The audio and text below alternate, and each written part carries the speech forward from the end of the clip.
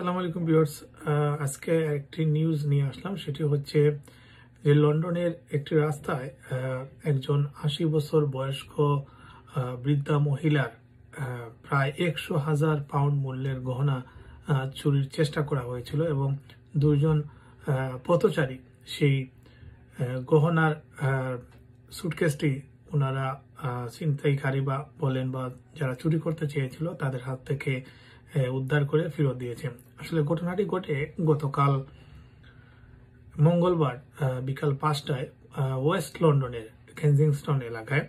Police বা বিবিসির সূত্রে আমরা যেটি জানতে পেরেছি, সেটি হচ্ছে যে ওয়েস্ট লন্ডনের কেনজিংস্টন এলাকায় মঙ্গলবার বিকাল পাঁচটায় আশি বছর বয়স্ক একজন মহিলাকে থামিয়ে দুজন চোর তার কাছ থেকে জোরপূর্বক তার স্বর্ণের বা মূল্যবান গহনার সুটকেসটি নিয়ে যায়। সেটি দূর থেকে দাঁড়িয়ে দুজন বাসিন্দা বলেন বা পথচারী বলেন, তারা দেখছিলেন এবং পরবর্তীতে তারা তাদের একজনকে তারা থামিয়ে চ্যালেঞ্জ করলে তার কাছ থেকে সেই স্বর্ণের সুটকেসটি তারা উদ্ধার করতে সমর্থ হন এবং পরবর্তীতে সেই স্বর্ণের সুটকেসটি আশি বছর বয়স্ক এই মহিলার হাতে তারা ফিরিয়ে দেন। তো এই ঘটনায় পুলিশ যেটি বলছে যে তারা বিবিসি নিউজে আমরা যেটি দেখলাম তারা বলছে যে যে প্রত্যক্ষদর্শী যে দুইজন ভদ্রলোক এই স্বর্ণের গহনার বক্সটি উদ্ধার করেছিলেন তাদেরকে তারা ধন্যবাদ জানিয়েছে এবং সেই চুরদের চিহ্নিত করতে, ধরতে তারা তাদের সহযোগিতা চেয়েছেন।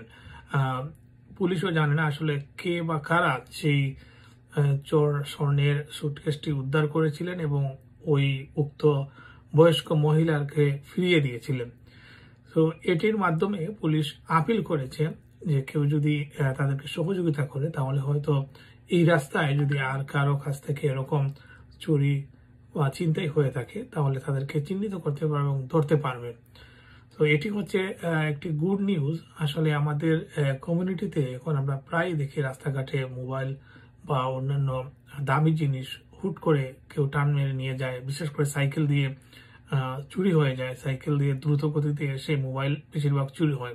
তো এই ধরনের চোরদেরকে চিহ্নিত করতে হলে যারা রাস্তায় সচেতন নাগরিক আছেন, তাদেরও এগিয়ে আসা উচিত এবং পুলিশকে ইনফর্ম করা উচিত। অবশ্যই আপনারা মারামারি করবেন না। চোরদের থেকে সেটি বেআইনি হয়ে যাবে। সে সে ব্যাপারেও আপনারা একটু সতর্ক থাকবেন। ধন্যবাদ সবাইকে।